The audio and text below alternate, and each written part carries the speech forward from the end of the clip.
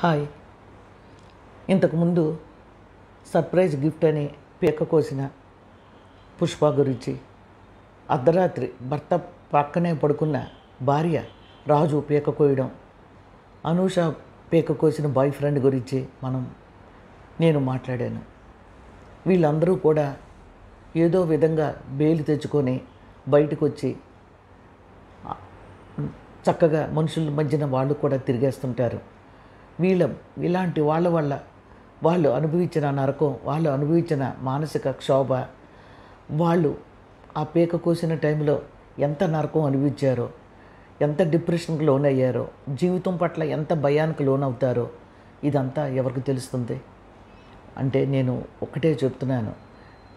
ఈరోజు గుంటూరులో రమ్యని అతి దారుణంగా చంపిన ఆ శశికృష్ణ ఆవిడకి అంత చక్కటి పేరు కూడా అనవసరం. ఆ దుర్మార్గుడు అంటే సరిపోతుంది.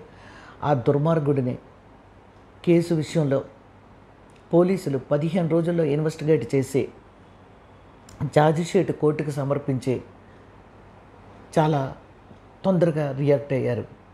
కోర్టు తొమ్మిది నెలల్లో విచారణ జరిపి ఆ దుర్మార్గుడికి ఉరిశిక్ష విధించింది. ఫ్లాష్లో కూడా చూపెడుతున్నారు. ప్రభుత్వం స్త్రీలకి అన్యాయం జరిగితే ఎంత మాత్రం సహించదని. ఇది చాలా గొప్ప విషయం. కానీ మరి మగవాళ్ళు కూడా మనుషులే కదండి. మగవాళ్ళు కూడా మనుషులే. ఇలా అర్థం పర్థం లేకుండా పీకలు కోయించుకొని ఉద్యోగాలకు వెళ్ళలేక సమాజంలో అందరిద్దట తల ఎత్తుకోలేక చెయ్యని పాపానికి ఇంతంత శిక్షలు అనుభవిస్తున్న వాళ్ళ గురించి కూడా గవర్నమెంట్ ప్రభుత్వం ఈ దిశ చట్టం లాంటి చట్టాన్ని అయినా కొత్తది రూపొందించాలి. లేదంటే ఆ చట్టం కిందైనా వీళ్ళకి కూడా తొందరగా న్యాయం జరిగేటట్టు ఇలాంటి వాటికి ముందుకు తెగించి వస్తున్న ఆడపిల్లలైనా మగపిల్లలైనా వాళ్ళకి కఠినమైన చట్టం వస్తేనే బాగుంటుందేమో అని నేను అంటున్నాను. ఎందుకంటే ఈరోజు పిల్లలున్న తల్లిదండ్రులు కాలేజీలకి స్కూళ్ళకి ఉద్యోగాలకి పంపడానికి కూడా భయపడుతున్నారు. దిశా చట్టం అలాగే వచ్చింది కదా. ఆ డాక్టర్ అమ్మాయిని అతి దారుణంగా ఏం చేశారో ప్రతి ఒక్కరికి తెలుసు. ఏ తల్లిదండ్రి కూడా ఈరోజు భయపడుతున్నారు పిల్లలు ఇంటికి వచ్చే వరకు.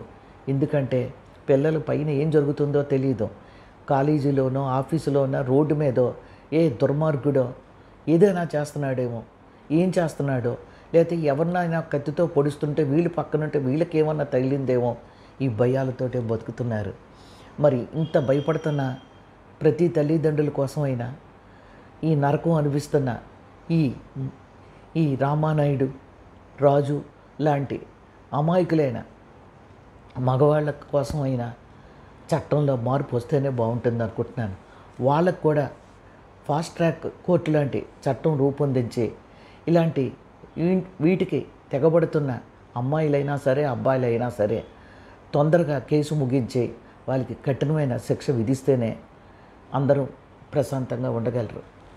నాకు ఇంకొక మాట కూడా చెప్పాలని ఉంది. ప్రభుత్వం ఇంత కృషి చేసి ఇంతంత మంచి చట్టాలను రూపొందించి ఇంత తొందరగా స్త్రీల కోసం పూనుకున్నప్పుడు ఈ కొత్త చట్టం తీసుకురావడంలో వాళ్ళు ఎంతైనా చేయగలరు. ఏదైనా చేయగలరు వాళ్ళు. ఎందుకంటే ప్రభుత్వం తలంచుకుంటే చేయలేదంటూ ఏమీ లేదు. ఆంధ్రప్రదేశ్ ప్రభుత్వాన్ని కొంతమంది వేలెత్తి చూపి వేరే విధంగా పోలీస్ డిపార్ట్మెంట్ వాళ్ళు చాలా బాధపడుతున్నారు. శవ రాజకీయాలు చేస్తున్నారని. వాటి గురించి నేను మాట్లాడడం కూడా అనవసరం.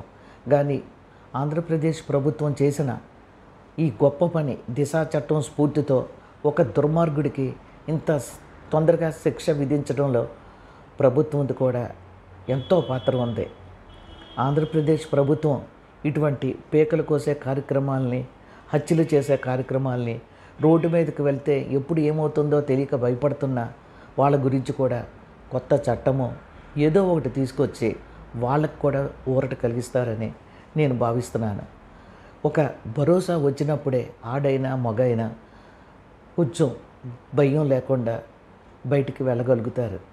ఈ సమాజం ఎలా తయారైందంటే వయసు ఉడిగిన అమ్మాయి ఆవిడైనా సరే ఎవరైనా సరే బయటకు వెళ్తే ఈ తాగుళ్ళు ఈ ధూమపానాలు ఈ గంజాయిలు ఎక్కువైపోయి మెడలో ఉన్న చిన్న గొలుసు కోసం కూడా ఒక్క పోటు పొడిచి లాక్కొని వెళ్తున్న సంఘటనలు కూడా చాలా జరుగుతున్నాయి.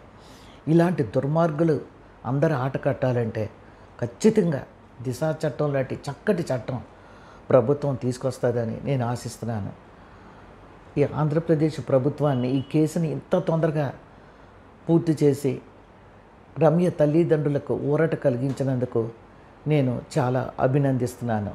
నేను ఒక సామాన్య పౌరురాలుగా ఆంధ్రప్రదేశ్ ప్రభుత్వాన్ని ఎంతో గొప్పగా నేను మెచ్చుకుంటున్నాను.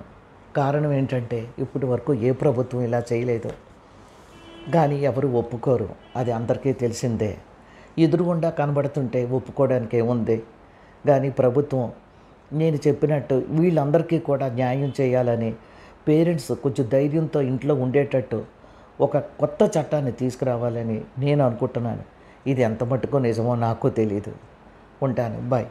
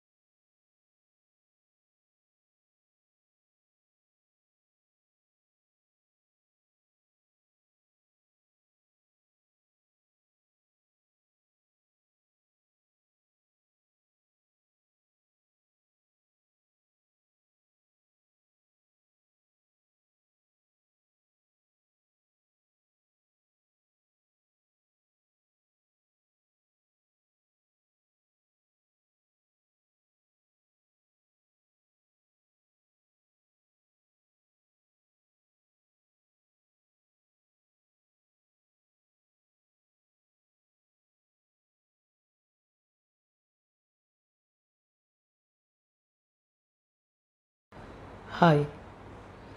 ఇంతకుముందు